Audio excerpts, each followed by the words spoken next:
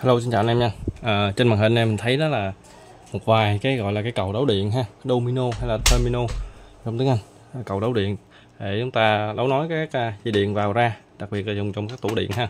Đây thì à, tâm giới thiệu à, chủ yếu là giới thiệu sản phẩm này cho anh em nào mà à, chưa quen hoặc bà con cô bác nào à, đa số khách hàng của tâm là các bà con cô bác à, chưa biết rành về điện hoặc là à, biết điện, nhưng mà chưa biết nhiều về thiết bị, thì tâm giới thiệu các thiết bị, cái dụng cụ để à, trên kênh youtube hoặc kênh tiktok để à, bà con, anh em mình tham khảo thêm thôi ha. Anh em nào thợ hay là biết rồi thì có thể à, xem qua cho biết hoặc là bỏ qua video này. Tâm rất là cảm ơn. Và nếu anh em nào lần đầu tiên xem kênh thì nhớ bấm đăng ký kênh ha. Để tâm rất là cảm ơn luôn để theo dõi những video mới và để để những video mới, những sản phẩm mới hoặc là những cái một vài cái mẹo hay mà chúng ta thường xuyên sử dụng. Đấy ở đây là cái cầu đấu điện thì à, à có loại to loại nhỏ. Loại này thì theo thông số hiệu suất là 45 ampe ha chịu dòng tải qua hai cầu này. Còn cái bên đây là tối đa là 25 ampe 25 ampe 250V ha. Đấy, hoặc là 380V nhưng mà cái ampe của nó là có giới hạn. Đấy. 45 và 25 được chưa? Nên nó kích thước cũng to nhỏ khác nhau đây nè. Mình thấy không? Ok. Rồi cái câu hỏi thứ hai mà có thể anh em mình sẽ hỏi ngay ra tại sao cái màu nó khác nhau? Cái này là màu à, vàng vàng đúng không? Còn màu này màu à, trắng trắng bạc bạc. Rồi tâm nói luôn. Những sản phẩm này đa phần á, là những sản phẩm mà đa phần trên thị trường không phải là bằng đồng ha mà đa số nó là các à, uh, hợp kim hoặc là thiết.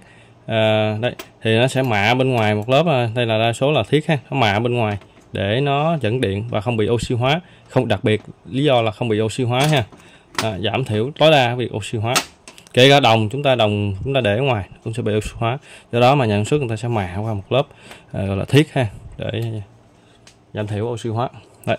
đó là có thể cái lớp mạ nó khác nhau nên nó sẽ có các màu khác nhau rồi một cái lưu ý khi chúng ta sử dụng là chúng ta sẽ chọn cái à, cái sản phẩm nó phù hợp với cái công suất cái dòng điện đi qua. Ví dụ chúng ta ba dòng điện khoảng ta đóng áp ngưỡng 25 ampe thì tốt nhất ta không nên chọn cái loại 25 này tại vì nó đang tối đa là 25 mà.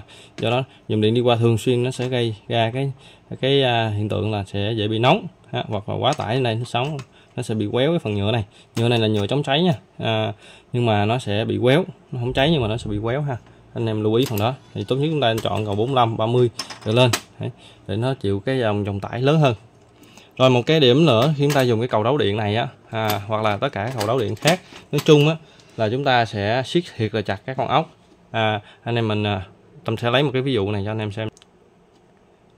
Đây là một cầu đấu điện mà rất thường sử dụng trong các chi tiết máy các máy đặc biệt các quạt máy vân vân. Đấy à, nói rất là nhanh và chúng ta thay thế cũng dễ dàng. Hoặc là dùng trên đèn trần nhà này cái con ốc nữa bạn này đưa dây điện vào chúng ta siết lại rất là nhanh ha. Và à, rất là thẩm mỹ luôn. Nhưng một điều lưu ý là chúng ta phải siết chặt loại này cũng giống như loại cầu đấu đây. Chúng ta phải siết con ốc thật là chặt đưa dây điện vào siết thật là chặt nha. Còn nếu chúng ta siết sơ ý siết lỏng siết chưa chặt á, thì nó sẽ dễ gây uh, hiện tượng phóng điện và nóng các vùng mà chỗ chúng ta đấu nối á, nó nóng mà lâu ngày bị quéo ha làm cho dẫn điện nó, nó ảnh hưởng tới hoạt động của máy móc rồi các loại này thì à, hiện tại em đang bán cầu à, 45 25 và có cầu 6 nè cầu 4 và cầu à, 3 Đấy, anh em mình có thể liên hệ đặt hàng đặc biệt bên tâm giá rất là tốt cho anh em thợ hoặc anh em đại lý mua về bán lại nha. Rồi cảm ơn anh em rất là nhiều xem video này nha. Và à, chúc anh em mình ngày mới à, tốt lành.